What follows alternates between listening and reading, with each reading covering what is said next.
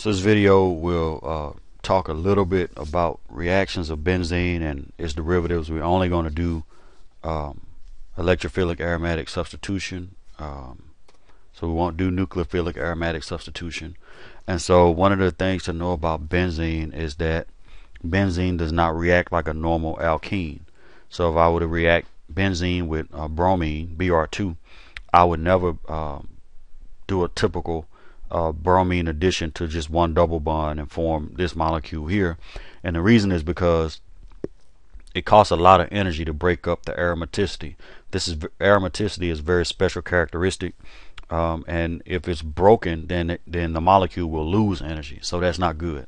So benzene a lot of times uh, will react through what we call aromatic substitution, uh, either nucleophilic or electrophilic, and, and that will determine whether it's nucleophilic or electrophilic, that's going to determine whether or not um, you add a nucleophile to the ring or you add an electrophile to the ring. So we're going to do electrophilic aromatic substitution, which in this case we're going to add an electrophile. So normally if I add take benzene and add bromine to it in the presence of a catalyst, I get a halogenation where one bromine is added to the ring and then the aromaticity remains intact.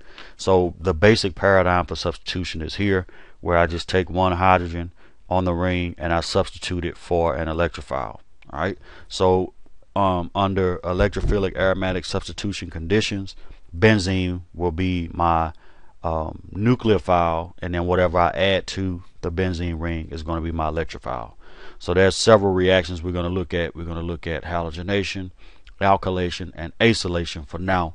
And then um, we'll add, we'll do another video later in the week with nitration and sulfonation. So let's look at um, halogenation of aromatic rings.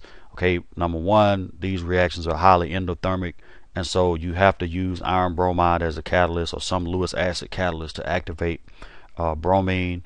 And uh, when iron bromide is added, you it forms this activation complex here where now bromine the bromine bromine bond is weakened and is ready for uh, nucleophilic attack by the ring. So we'll show you that in a second.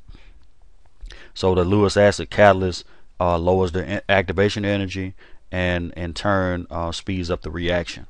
And then iron bromide also uh, activates uh, bromine for attack which I, which I just mentioned a second ago. So let's look at the mechanism.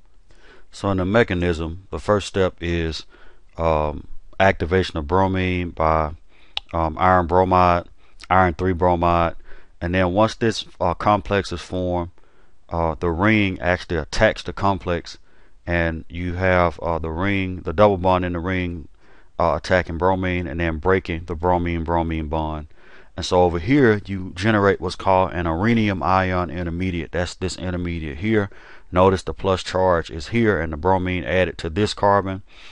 Okay, so this is the slow step. And the reason is because you lose about 150 kilojoules per mole of energy by breaking that aromaticity up.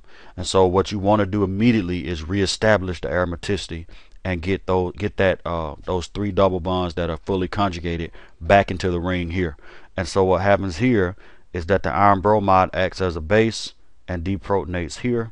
And then this, this pair of electrons comes here to reestablish my aromaticity to give me my uh, brominated product. All right, plus HBr, and then I regenerate the catalyst, which can go back and do the reaction again.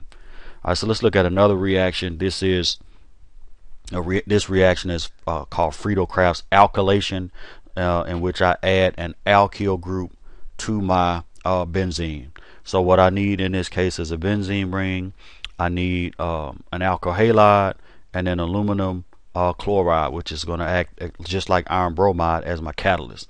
So again, aluminum chloride is my catalyst, and it extracts the halogen from my um, alkyl halide. So let's look at what happens in the mechanism. Here, the first step is extraction of the chlorine uh, by aluminum chloride, and so this uh, carbon chlorine bond breaks and I get this aluminum chloride complex here plus a secondary carbocation. And then the ring, in this case, is nucleophile. It attacks the carbocation, and now the carbocation is here uh, on the ring, and then my plus charge is here. The the basic mechanism for uh, electrophilic aromatic substitution is the same. even whether it's bromination, alkylation, or acylation, the basic mechanism is the same once you get to the step where the ring is attacking um, the, the uh, carbocation or whatever the electrophile is you're adding to the ring. All right, so then this step is identical to the previous reaction where the aluminum chloride, aluminum tetrachloride acts as a base, deprotonates, pull, push this pair of electrons here to give me my alkylated product. There's some limitations with this reaction. Uh, it doesn't work on uh, vinyl or aryl halide, so my um, the scope of the reaction is limited in that uh, what I add to the ring can only be an alkyl halide. Uh, doesn't work if the aromatic ring is substituted, um, and many times you'll get over alkylation. And the carbocation intermediates like this one often rearrange, which is something we'll talk about uh, in class. All right, so the last reaction, real quick, uh, under the umbrella of electrophilic aromatic substitution is Friedel-Crafts acylation. So anytime I add a carbonyl group to the ring or to anything, that's called an acylation. The word acyl uh, is indicative of having a carbonyl present. So I need my benzene ring, I need an acid chloride, and once I have uh, my acid chloride in the presence of aluminum uh, trichloride, I can actually take the acyl part of the acid chloride, meaning the carbonyl part, and I can add that to the ring. Alright, notice my ring is still aromatic. None of my double bonds are broken. So the first step in the mechanism is similar to the other two mechanisms that we've seen so far.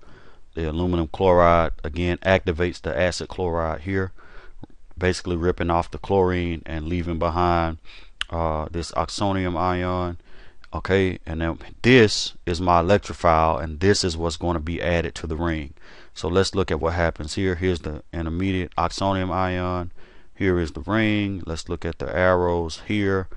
All right. So the ring attacks the oxonium ion.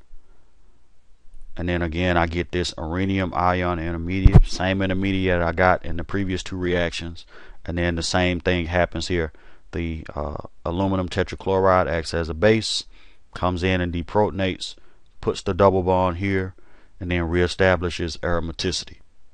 So we have some other reactions that we'll look at, but for now this will be for tomorrow, and then every day this week we'll have a video preceding class.